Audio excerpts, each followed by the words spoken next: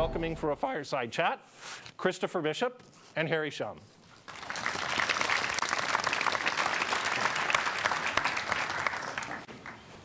Great. Harry, first of all, thanks hugely for taking the time to join us. I know of you've course. had, a, you've had an incredibly busy day. Yeah. You just, uh, I guess you've literally just flown back into Seattle. So tell us what you've been up to Right. today. Yeah. Well, first of all, congratulations, uh, Chris, you know, both uh, for the incredible lab you have built over 20 years in Cambridge. And of course, you know, uh, it's nothing beats the, this great honor of the Royal Society signing on the same book as Newton. Uh, it's an incredible achievement. Uh, I just came back about two hours ago. Uh, I was uh, this morning uh, at this big Microsoft internal event we call the Ready. Uh, this is actually a week-long event for our sales force. Uh, half of our company, uh, roughly half of our company is actually working uh, on the sales and marketing side. Every year we use this opportunity uh, to share with our field, the sales force, what's happening in the company. And we also live broadcast the, the, all those presentations from uh, um, the, the conference and across the company. It happens to be in Vegas. It's only 114 degrees there. Uh, it's, just, uh, it's just incredible. I hardly went outside, and uh, so I was so happy to come back to join uh, you and the faculty summit. That's great you could Yeah. be here. So um, what I thought we'd do, have maybe 20 minutes or so, you and I having a bit of a Yeah. chat about AI. And, uh, and then after that, we'll open it up to the audience. So please uh, you know, be thinking of some interesting questions on the topic of AI for Harry. Um, but maybe I can just dive right in, and I'm going to start with a fairly tough question because this is this is a bit like asking parents about their favourite child or something. But uh, I mean, there's a lot of work in MSR worldwide around AI. But are there any things that particularly stand out for you right now? Ah, that's really a tough one. And I guess if I can take this one, the rest will be easy. Um, it's just so many exciting things going on in MSR. You know, I feel extremely fortunate and very proud to what we have done in the last 26 years in MSR. Um, are actually three areas uh, I recently um, I'm very excited about it, and uh, not surprisingly, uh, you would agree that AI is certainly one of them. I, I get to that later. Uh, two other areas I feel very, very excited about. You know, uh, one is actually very forward-looking. The other one is also very, uh, very timely. Uh, the one very forward-looking is quantum computing. Uh, we have been working on uh, the Station Q, quantum computing for a long, long time. I think we're getting to a point that you know, we, we, we we feel we are getting very close to get the, the stable, you know, qubits that, that we can produce. Uh, certainly, you know, Mike Freedman will be able to tell you a lot more details. Uh, one thing I can, can share with you is that, you know, we feel so confident that we actually started to really work with experimental physicists to really get to the physics level. How can we really construct those qubits? Uh, once you get enough of those qubits, then the great things can happen. The other area I feel very, very excited about and uh, very timely for my, Microsoft is on security and the privacy. Uh, specifically on security, uh, this incredible initiative you know, across all our labs, certainly you know, you know, Cambridge lab as well, is on this uh, uh, what we call the confidential computing and the secure computing. Uh, the idea there is that really, you know, not only you can do encryption, you know, at rest and on the go, but also during computation. So this has been a very exciting uh, research area for us over quite a few years. It's fantastic to see we have an opportunity to move those technology into Microsoft products. Um, certainly, I want That's to. very relevant for AI, of course. because It's so Absolutely. data-driven, and we care about data Exactly. privacy and security. so- Yeah, it has profound impacts in the, uh, uh, over many, many things that we want to do at Microsoft. And in AI, of course, there are many things that we do. Uh, um, I heard Eric give a fantastic presentation this morning, and uh, I had the, the opportunity to uh, go through his slides earlier. Uh, we do many things, and uh, uh, uh, I'm not going to talk uh, about a lot of things that Eric mentioned about. I just just bring a couple of examples that where I see great MSR research having incredible impact on the products. You know, one of those areas is actually uh, machine reading. Uh, the- the- a lot of interesting things happening in natural language, and uh, we as a company deal with a lot of text, you know, whether it's email, web page, or even any kind of documents. Uh, there's so much that we can do. Uh, we ac- absolutely working hard on that. Um, Office, Office 365, Outlook, you know, Word, and many of those things. uh, we depend on a lot of MSR technology along this line. Uh, we loosely call it machine machine reading comprehension. The other area is actually uh, probably a little bit of personal bias is really the, the, the connection uh, between the visual images, videos, and the natural language description. Uh, sometimes people call it the captions, captions from image and captions from video. Uh, I think true you know, image understanding uh, has to be connected with natural language. Mm. You're giving a keynote, aren't you? Next next week, is it? At, uh, well, actually, uh, this Sunday. This Sunday. It's a little bit embarrassing. I was invited to go give a keynote at the CVPR, which used to be my main conference. Uh, until 2007. I believe 2007 was the last time I really participated at the CVPR. Uh, this time I got an, a chance to go uh, uh, attend again and give a keynote, you know, mostly really about you know, sharing some lessons we have learned uh, from Microsoft. Uh, the title of my talk is called Commercializing Computer Vision. So I will talk about a, a few examples, uh, including HoloLens, how we actually organize research efforts, how we actually do move the research from to the product side and with the flywheel. That's great. Actually, yeah. that's a good, a good hook into my next question, which is um, sort of step back a little bit. And uh, a few months ago, the company created this new organization, AI&R, and uh, appointed you as the leader of this. So um, can you tell us a little bit about AI&R and, and its mission? Yeah. Well, I, am incredibly excited about and very honored to have this opportunity to lead AI&R for Microsoft. Uh, AI&R is actually our uh, uh, fourth uh, engineering division and the research division. And the R is research. Uh, R is research, AI, and the research. Uh, the, the, other three parts of engineering groups, in case you don't know and the curious, uh, those three are Windows and devices, uh, office productivity, and clouds and enterprise. AI and the research is the fourth one, and the latest and the smallest one, actually. We only have 7,500 people in our division. So um, but it's very timely and important for the company as you see you know, the, the incredible uh, progress has been made uh, in the last several years, in particular in AI. Many areas of AI, uh, the, many of those great examples this morning from Eric, you, know, uh, you already seen. But we, we feel this is really the right time to um, not only do great research, but also really having impact on Microsoft business, first of all, through products and the services and the opportunities to really democratize AI technology to third parties, to our customers. So that is the, the really starting point. And the, recently, I had the opportunity, have had a lot of opportunities talking to many people outside of Microsoft as well, including many CEOs, CTOs, and engineering leaders. Everyone is just so excited about AI and also so worried that, you know, what if we miss this AI thing? I think there's certainly a lot of hype over there. My joke is that, you know, you have to claim that you like and you do AI, uh, artificial intelligence, because the opposite of artificial intelligence uh, is natural stupidity. so you, you just have to say it. You know, if you don't do AI, what else did you do? So that's the problem. And uh, uh, but the seriously, on a serious note, uh, we, we really believe there are great opportunities mm. for the company and for our customers, even more importantly. And anything in particular, any particular products or services that you see coming along? Yeah, I'd be happy to share more in the. So the way we think about with the AI and the research division uh, is really about you know what kind of uh, really products and services that we can offer. So by and large, we think about you know three lines of products that we build. The first one is really the first party AI products that you probably feel um, you know, you know, reasonable. Um, along the line of, say, you know, search engine Bing and digital assistants like Cortana. Uh, I certainly uh, very much believe in that the, the ultimate form of AI um, is actually in uh, digital assistants in the right place, right time, with right information um, helping you uh, to do right things. Um, still very, very early.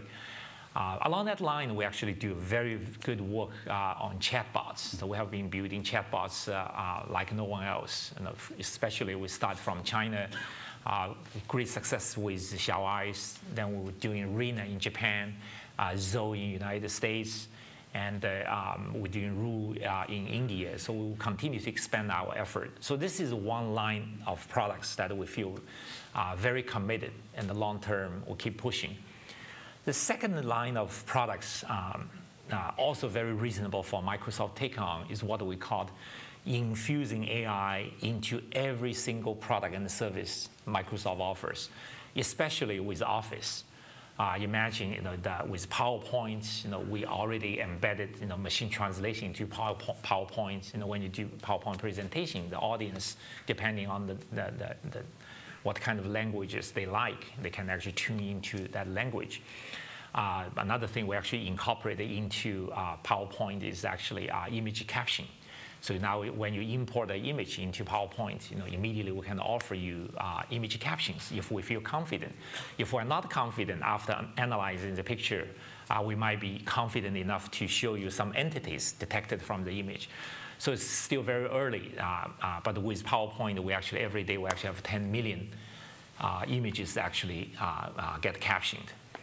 And we also you know, have you know, Word, PowerPoint, and many other things that we can do. Uh, the great work from your lab, for example, you know, uh, with Excel, you know, what we are doing when, as you import data into various cells, you know, what kind of things we can process there using some machine learning and AI tech.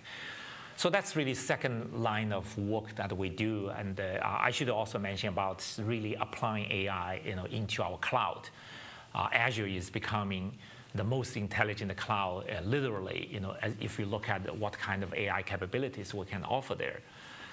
The third line of uh, products uh, that is, I would say is pretty new and uh, um, is something that I have thought of long and hard and have decided that we'll have to take that on. It's really the new and the emerging business processes. Uh, as we think about you know, all different kind of verticals and all different vertical industries and all different kind of horizontal business processes, uh, I certainly believe that they will all be disrupted by AI and the data. Uh, the, the, vertical um, industries like health, healthcare, you know, something you, Peter, and the, uh, Chris Jones have been working on.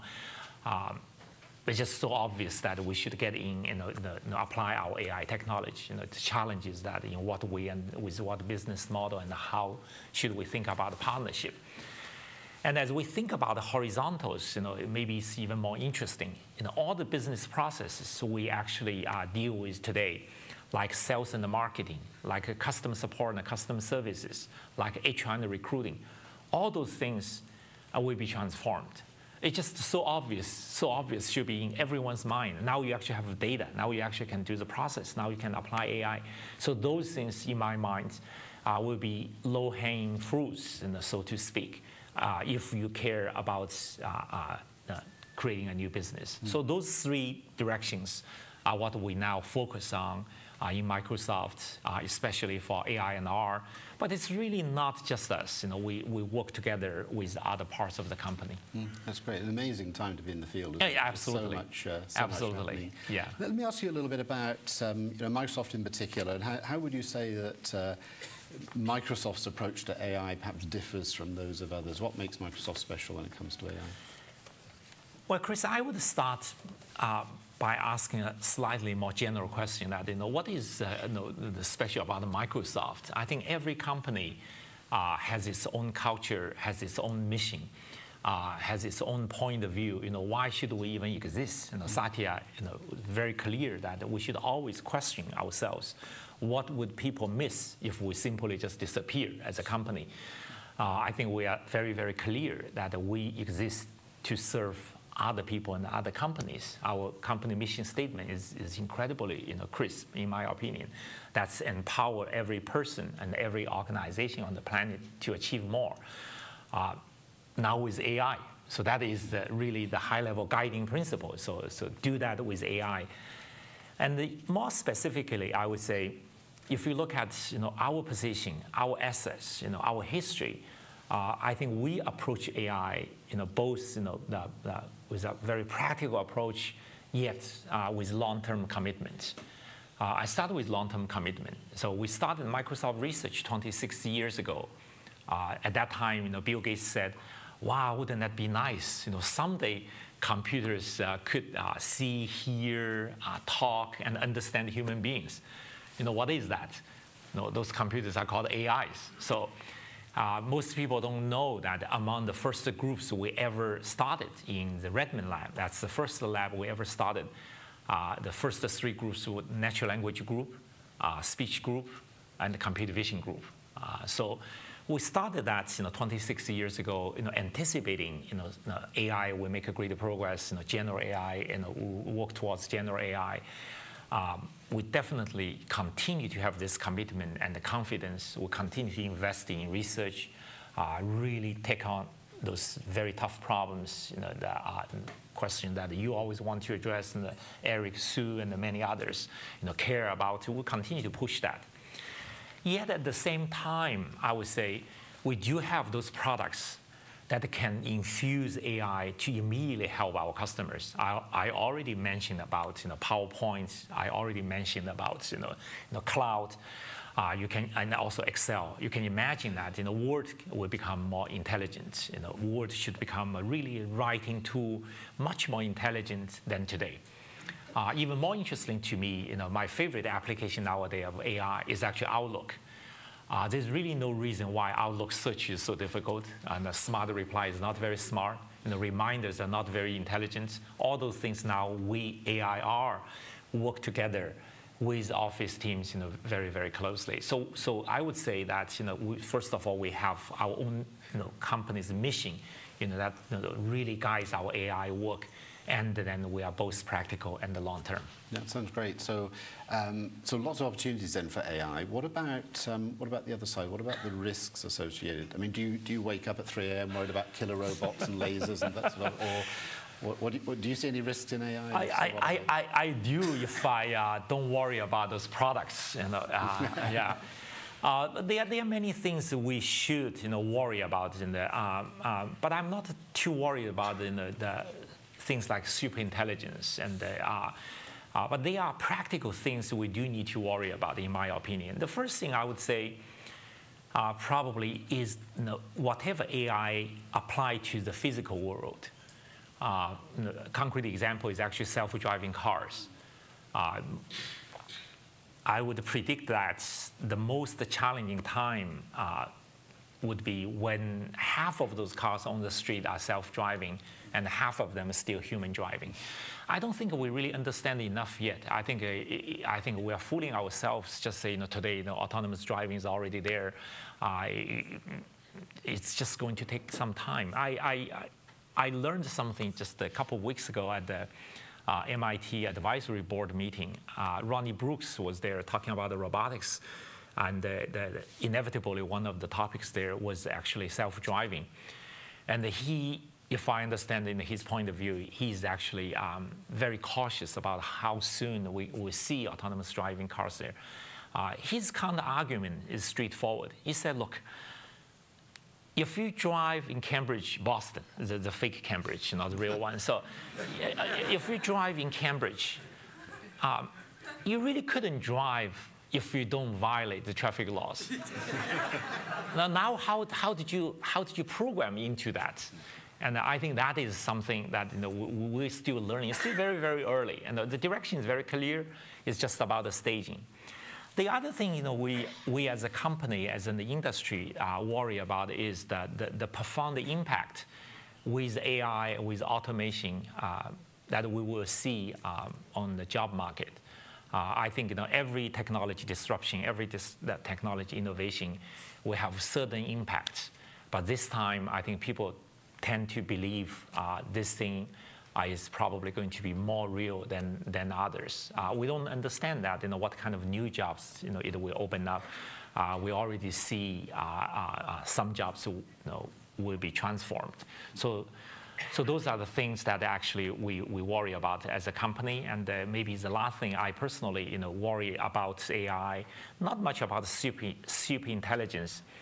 It's really that you know, the, the reason AI is so so different from many other incredible you know, innovations in the history of human being is that most of the previous innovations, there's much about extending human physical capability. And this time with AI, we're talking about extending brain power as well.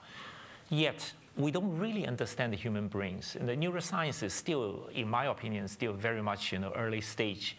Uh, so something that you know, we, we keep learning. Yeah, that's very interesting. I think actually also there's a there's sort of a risk the other way. Those are yeah. risks of things that may not go as well as we hope. But I, I wonder also that with um, you know, very justifiable concerns about, about the data, about privacy, security, That's and so right. on, that we might um, go too far in the other direction. And then actually, I mean, particularly interested in the healthcare space, yeah. for instance, there's tremendous societal benefit that we can see is, is potential is latent there in AI. That's right. And we may shut that out if mm we if we overreact to some yeah. of these risks. So it feels like we need to find the right sort of middle ground here. Right. I think the, the uh, one small step toward that, first of all, I, totally agree with you uh, uh, on that. A very small step step you know, towards that, you know, we have been learning you know, through the development of many you know, AI products, especially through our chatbots, is really um, this whole AI thing is not just about you know, pure IQ intelligence. You know, it has a lot. What it's all about. That is about smart. It's actually more about empathy and understanding, you know, just like humans, like EQ. So it's something that you know we still learn. You know, what does this even mean? And uh, when you interact with a human being, you know, uh, uh, you know, when did you make this kind of recommendation? When did you interrupt? And a lot of things I think is still very very early. Now, my favorite example favorite example is actually I was talking to the XiaoIce's team in Beijing, and the the chatbot knows where this person is, you know, roughly through IP and others. And let's just say that it's already, you know, 1, 1 a.m. in the morning, and this person keeps talking to the chatbot. So should chatbot slows down the response? Should chatbot say, oh, you should go back to, to sleep? Now, what if it's already 2 a.m.? What if it's actually 3 a.m.? You know, does chatbot, does the chatbot have any responsibility? So those things we, we, we just we just just very very early, you know. So so we just have to really learn, you know, along the way, you know, how to design this kind of AI products. Yeah, it's really interesting, and uh, and of course it needs input from lots of different disciplines, right? Not just yes. from you know IT technologists yeah. and uh, you know social scientists and uh, right. uh, many many others. Um, I'm conscious of the time. And I'm keen to open this up to questions, but there's just one more question I just okay. I think uh, I'd like to touch on because I know this is of tremendous interest not just to Microsoft or the whole IT industry, but to industry generally, and of course the academic world which is this um, extraordinary explosion we've seen in demand for talent in this space. and uh, you know, what, what are your thoughts on the talent pipeline and what, what we could do? Well, that's truly amazing to see, you know, how excited people are about AI, you know, first of all, then, you know, how hungry, you know, the companies are hiring AI talents. You know, the, the, we all know that, you know, just the, the price tag is just, you know, sky, sky high. Um, that, not too long ago, I was at a, at a forum. I said uh, uh, to the press, I said, look, you know, nowadays, uh, if a young kid knows how to train five layers of neural net. You know, the kid can absolutely demand six figures. if the kid can train, you know, 50 layers of neural net, the kid probably will want, you know, seven figures. So it's just that the, the talent market is very, very hot out there. I think this is the, the, where we should work together with academia to train the next generation of AI talents. You know, you know students really know, you know, what to do, what kind of tools uh, they can do. At the same time, uh, Microsoft, companies like Microsoft, uh, have responsibilities to come up with the right tools. In Microsoft, we certainly do. We actually build two kinds of tools. You know, one is actually for developers. The other one is actually for data scientists. Uh, in data for data scientists, we have Azure Machine Learning, go all the way end to end, how we train those models and tune those models for developers, we have you know, cognitive service APIs, and uh, we should do even better, you know, coming up with Visual Studio type of tools, and so that you know we can actually help you, you know, put together a project and debug the, the whole process, and uh, then compile that, and take all kind of you know, framework to compile together, all the way to different kind of running platforms uh, uh like you know uh, Azure, Azure with GPU, or even your home machine, or even to uh, Raspberry Pi. So those things, I think we have responsibility. Uh, maybe last thing I can share with the audience is that you know, we as a company, of course, struggle uh, to train our own AI talents. Uh, so much so, uh, I decided to start a, an AI school several months ago. It turns out to be a huge success. You know, everyone wants to learn AI, and of course, we want to train every you know, engineer, developer to become an AI engineer. Uh, would love to uh, learn from you the best practices and even partner together. Yeah, great. Thanks, Harry. It's fantastic. So let, us open it up to questions. We have various um, roving mics, so just put your hand up. Um, somebody will give you a microphone, and uh, uh, we have somebody here. So, yep, number three. Hi, uh, Julia University of Illinois. Um, I was just wondering whether you could um, expand a little bit more on what you see the role of academia to be, and what we can do as, um, yeah, as faculty. Well, that, that's, a, that's a big question. That, um, the, the way we look at that is Microsoft Research has had a you know, very rich history of uh, collaborating uh, with many universities and uh, many university professors. Uh, I feel you know, uh, very honored that you know, many of you uh, choose to come to visit us at this time and coming to Faculty Summit to have a chance that we can exchange ideas. Uh, then we figured out things, uh, even more things that we can work together. Uh, for Microsoft, and especially for Microsoft Research, you know, we, are very open. You know, we, we do a lot of a lot of projects, and we write a lot of papers. Many of those papers we jointly uh, uh, uh do with the professors and the students. Um, I, I, I, don't really have anything that specific to say, you know, in general, you know, how professors should work with us or work with others. I think everyone has a different situation. Uh, uh, I, I don't know, Chris, you want to add something? I know you, yeah. you do things very successfully, like work with some universities in Europe, like a recent announcement with Amsterdam yep, might be a great example you can share. Yeah, sure. So I, I think this collaboration with the academic world is a, is a very deep one and incredibly important. And I, I like to think that it's mutually beneficial. Um, as Harry mentioned, just last week we announced another collaboration. This is with Max Welling, the University of Amsterdam. And there are really sort of two threads to this. One is around this talent pipeline. So really trying to partner with academia, because I think it's in everybody's interest that we really have a strong talent pipeline with the next generation of AI researchers coming along. So one of the things we do with Amsterdam, but actually more generally across Europe, is we, we fund uh, actually a very large number of PhD students, but we don't just fund the students. I think more importantly, we actually, almost all of those students are co-supervised by researchers in MSR. And so it's a way of sort of adding some intellectual horsepower that, that augments that available in the universities and also helps the students get a little bit of a more of an industrial perspective as well to complement the academic perspective.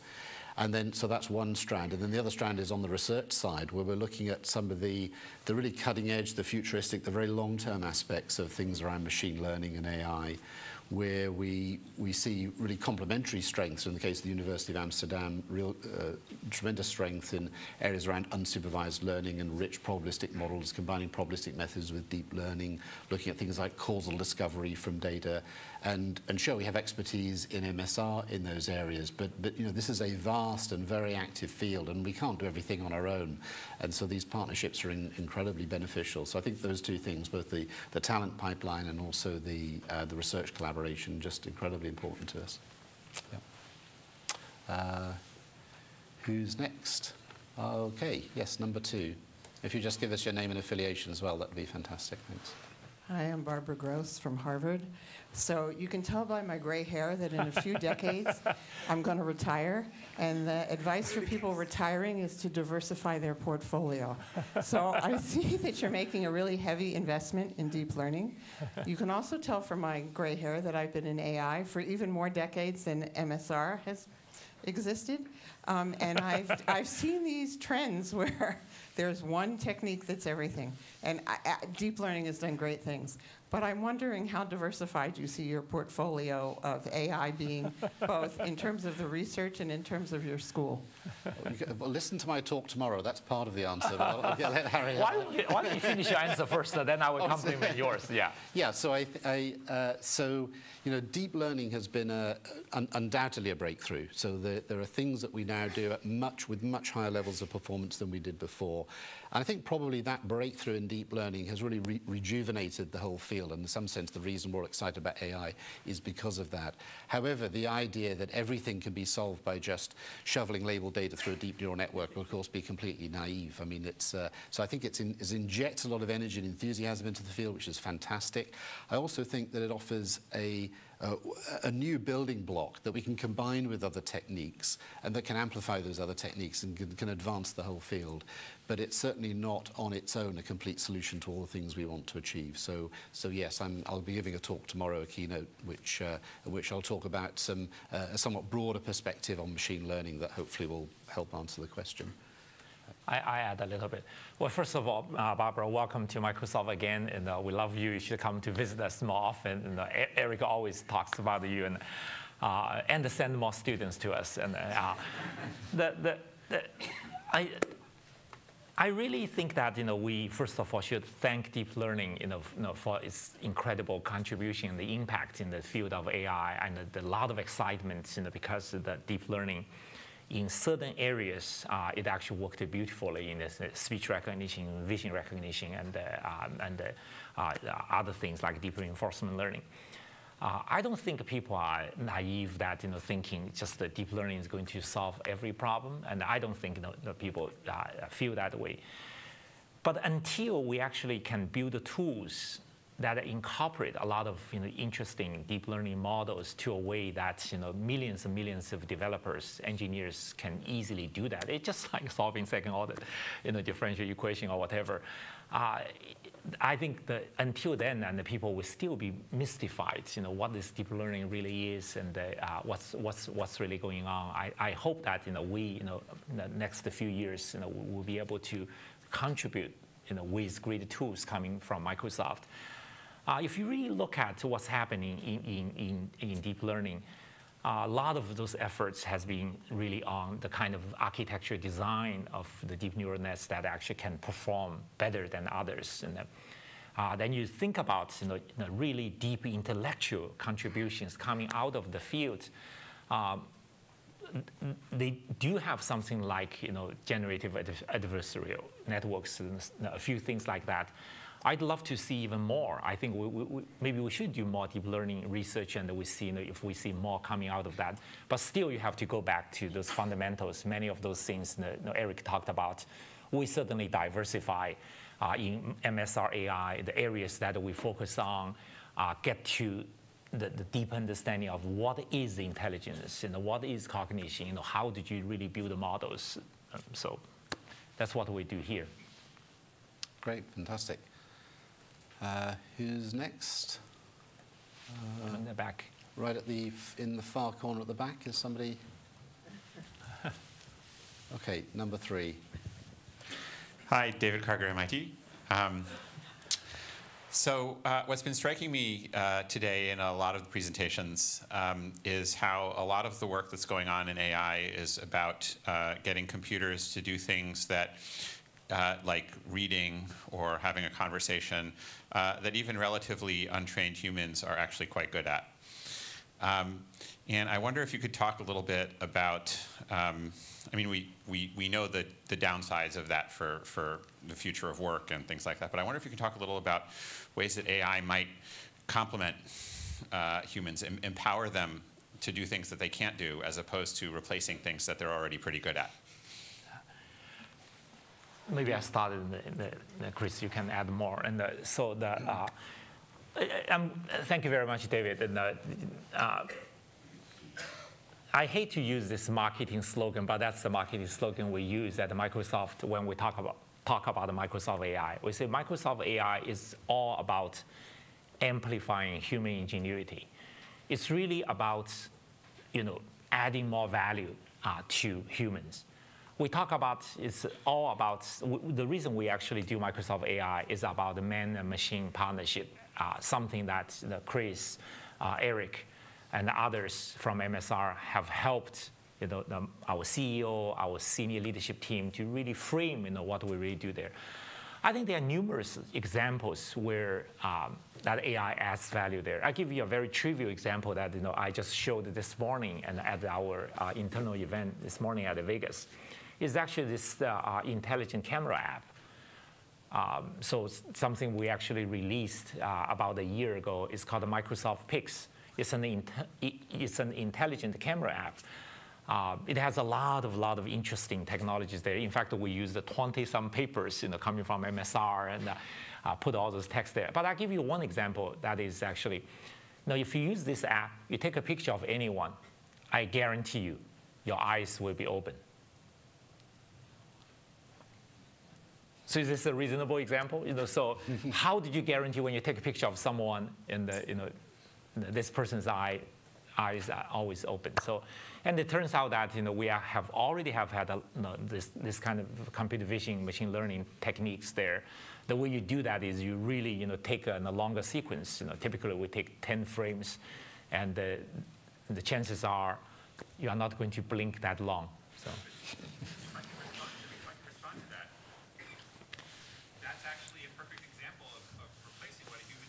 A human can, if, if, if, you take 10 pictures, then a human can go through it and find the one with the eyes open. Well, I think it's debatable. I think, Chris, you should add something you have been thinking about in the man-machine partnership, you know, how we think about this at Microsoft. Sure. I think, first of all, this idea of artificial intelligence uh, being a field in which you, you list all the capabilities of humans and then you cross them off one at a time. We achieved human parity in X, in Y, and Z. Very dystopian, depressing. What happens when you get to the bottom of the list? You know, that's, uh, that's very unappealing. The other general thought is that um, uh, it's true today, and it's going to be true for at least as far ahead as I can foresee, that the capabilities of machines are very different and complementary to the capabilities of people. And we know that when you combine things with different, you know, when you combine two classifiers together with decorrelated errors, the performance of the two together exceeds that of either alone. If you look at, uh, you know, chess playing uh, machines, they can beat humans, but actually the human and machine together can beat any human or any machine, okay, the Centaur uh, model.